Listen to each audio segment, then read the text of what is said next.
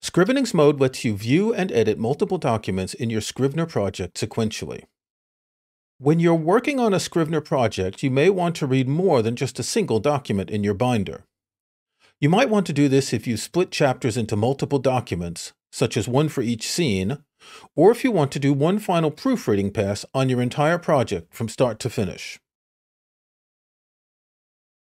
To use Scrivenings, click any folder in your binder, then click the Scrivenings button in the toolbar. You can now scroll through your texts as though they were a single document, reading and editing it as you would in a standard word processor. Dashed lines display as separators between documents.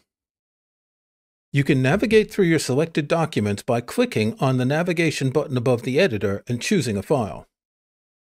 You can view any combination of documents in Scrivenings mode. Let's say your novel shifts point of view between two characters.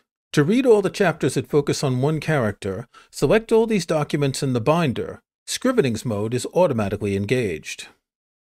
To select multiple documents in the binder, on the Mac, click one document, then press the Command key and click Others. Each click adds a document to your selection. On Windows, click one document, then click Control, then click the others. You can adjust some settings to tell Scrivener how to display Scrivenings. Go to Scrivener Settings on Mac or File Options on Windows. Click the Appearance tab, then click Scrivenings in the sidebar. You can change the scrivening separator, the way titles display, and more. Use Scrivenings mode when you want to view more than just one document. This is a powerful way to temporarily combine parts of your project as you write or edit.